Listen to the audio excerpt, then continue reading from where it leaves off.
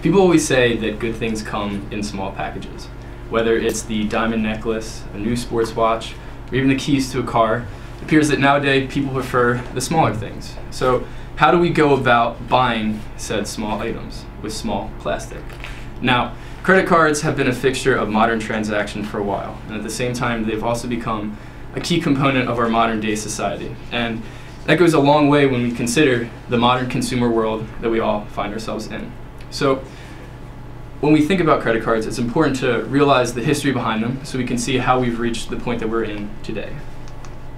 The modern credit card industry has evolved through ideological changes within the credit industry as well as through technological changes to the card itself, which in the process have created greater um, consumer habits as well as creating greater consumer risks. So, to encompass the idea of the credit card, we're going to look at three specific dates and then two corresponding eras that really show the implementation of um, the advances that occurred. So, our first date is 1910, and 1910 marks the start of the first credit-like system, which was through Sears Roebuck & Co., which is a department store, and they started offering lines of in-store credit to their most valued and wealthy customers. And that meant that they could go into the store, in one visit, they could make a month's worth of purchases and pay for it throughout the month. And this is important because it created the two-party credit system. So with this little graphic right here, it's very simple. It was based on loyalty between the customer and the company. There were no interest charges. They weren't trying to make a profit. It was just a way for them to make big purchases and pay for them over time. And this set a precedent for about the next 40 years um, before the advent of the three-party credit system. So our next date is going to be 1950, but in between the time from 1910 to 1950, not a whole lot went on because of the Great Depression that kind of stunted any growth that would have occurred. But after World War II, there was like an upstart in economic activity, and we can see how that came into play with the credit card. So we have the Diners Club. In 1950, this is the first real taste of a universal credit card. It was created by Frank McNamara, who's a businessman, and his idea was to create a network of the best restaurants in New York City and have his cardholders be able to use one card for all these transactions and have it um, come together as one organized bill at the end of the month. And from the article, Diners Club, from the Historical Encyclopedia of American Business, we can see that his idea was to create a system by which customers could pay for goods and services without cash by presenting a charge card that would allow member merchants to secure reimbursement from a central source. So pretty much that essentially meant that he created the three-party credit system, which consists of customer, company, and an outside credit supplier.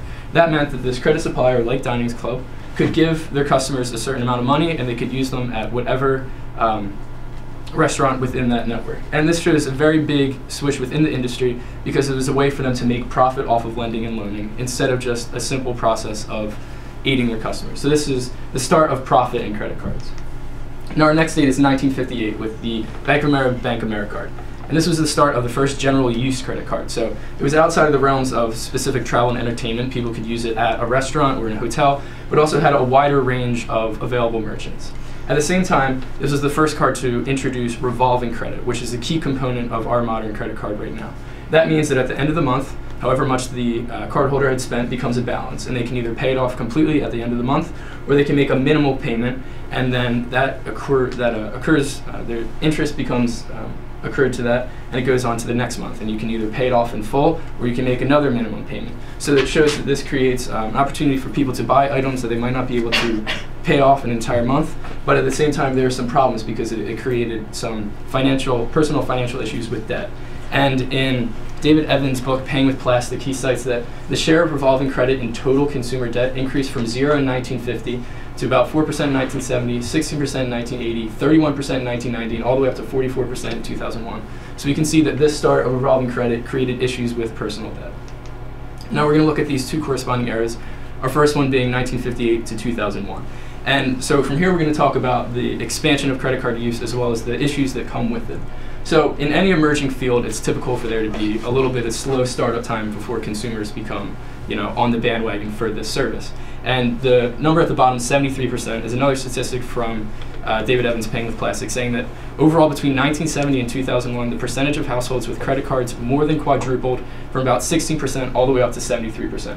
So this time is a major explosion of credit card use. We see, and the reason for that is it's called the chicken or the egg scenario. So for credit cards to be successful, you need to have a wide base of cardholders as well as a wide base of merchants that are willing to accept that. So credit card companies solve this problem by mail soliciting thousands of cards to potential customers to get them in their hands. This was controversial, but at the same time it was very effective. And consumers soon started to see the convenience and speed that came with paying with credit cards instead of having to use a checkbook or cash. Now, with this expanded use, we also have some risks that come up. So before we were talking about Diners Club or with Sears in the 1910s, this was a very elite group of consumers. But now they've been spread out to everyone. It's a less consistent clientele. People are more likely to overspend, um, start to create some personal finance problems with debt, and security issues like credit card fraud and identity fraud were also problems.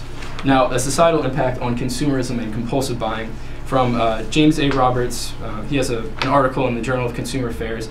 He stated that um, to many, the money involved in credit card transactions is abstract and unreal because it's not tangible. People are more willing to spend when they don't have a physical piece of currency in their hand. And this is very problematic when it comes to heavy spenders. And our last era is the kind of like the new frontier, the last 15 years with applications of technology. So e-commerce started off in like the late 1990s with eBay and Amazon where they allowed their customers to make transactions online with credit cards. This was very important because it also opened up other avenues for payment options. So in the Payment Options and Services online article from Gale Encyclopedia of E-Commerce, there was an expansion of available payments for not only online shopping, but also for paying college tuition, bank bills, utilities, and taxes. So we see that online transactions go outside the realm of just buying books or clothing, but you can use your credit cards to pretty much satisfy most of your financial needs. There's also m-commerce, which points to the mobile phone in the occurring age where um, it's the ubiquitous use of tablets or phones, it was a natural progression to take these online uh, transactions and put them on a phone through mobile apps or through just more usable uh, interfaces. And at the same time, there's more of a physical, tangible technological difference, which is the EMV chip, which has started becoming more popular in the last two years, where instead of swiping your card, you insert it into the machine.